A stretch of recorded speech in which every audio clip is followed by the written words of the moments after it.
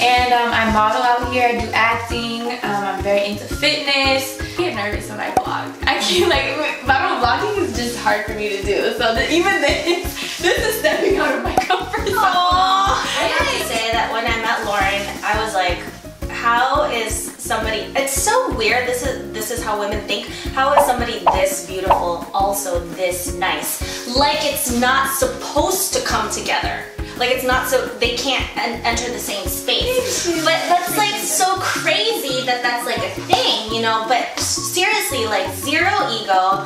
And you can ask like other models too when i talk about you. I say that constantly and i oh. stand by. It. like seriously like no ego. Zero.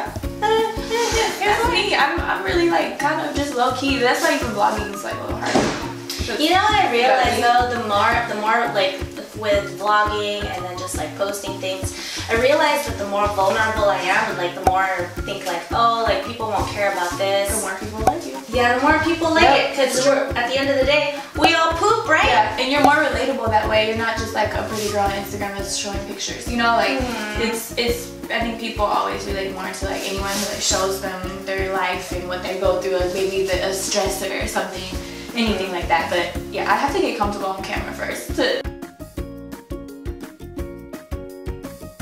Okay, so a big moment that I started thinking like that was um, my transfer from leaving the military to moving to LA because when you're in the military, like you're just used to getting your check every two weeks. You're used to your day-to-day job. It's your you know you go to work, get this done, go home. Yeah, it's very stable. It's very stable, but and very just like monotonous kind of. So you get used to the the schedule of it. Yeah. So me moving to LA, first of all, was was nerve wracking, but I couldn't figure like I couldn't picture it any other way. Like I have to come here to do like it. I'm refused to live in regret or, or thinking I could have done this. So.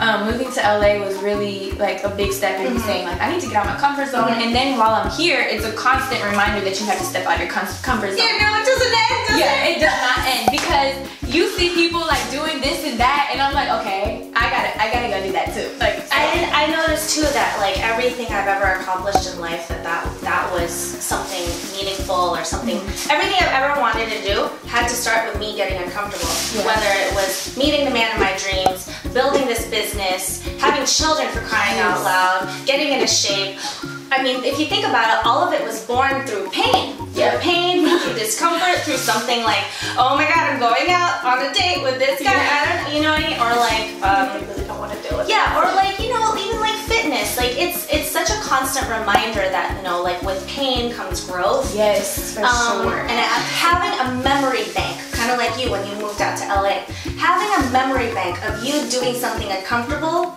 and then achieving it probably gives you more confidence in not just that area, but in every area. You're like, you know what? I've done something hard before and pushed through, and something good came out of it. So it like pushes you to like do other things like that. yeah, and because you, you realize the outcome is gonna be the outcome outweighs the struggle to get there. So yeah, it might be a struggle to do it, but with pain comes growth. Like even with heartache, you know, when a girl goes through some heartache, you that's that's when you see her glow up because she's girl. She's like, you know what? I just had to do it. heartache? Oh my gosh, yes, I. What is the line?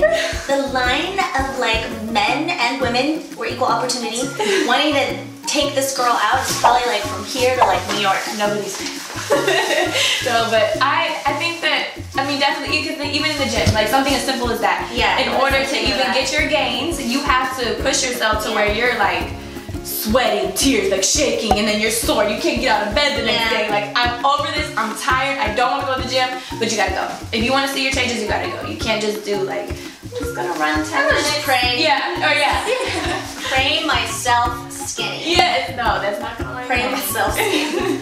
yeah that's what work yeah Ah. But that's definitely stepping out of your comfort zone in everything you do, whether it's like your jobs or working out, how you even interact with people. Yeah. Sometimes you want to be introverted. You Yeah. gotta step out and talk. I know, don't understand that. I think like some people who are who just sit there and be like, oh, I wish I could do this and that. I want to do this.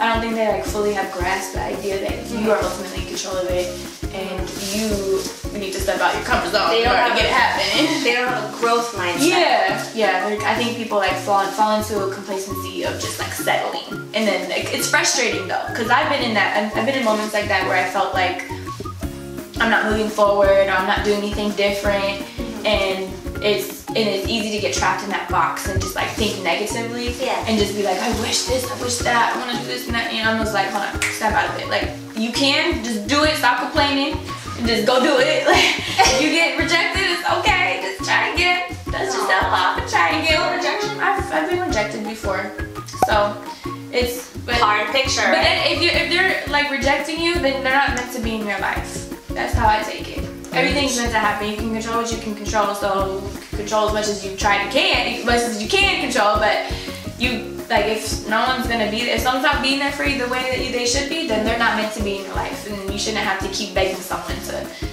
get a response how they how you want them to respond to you. If they're not doing it, then bye. Not for you. bye.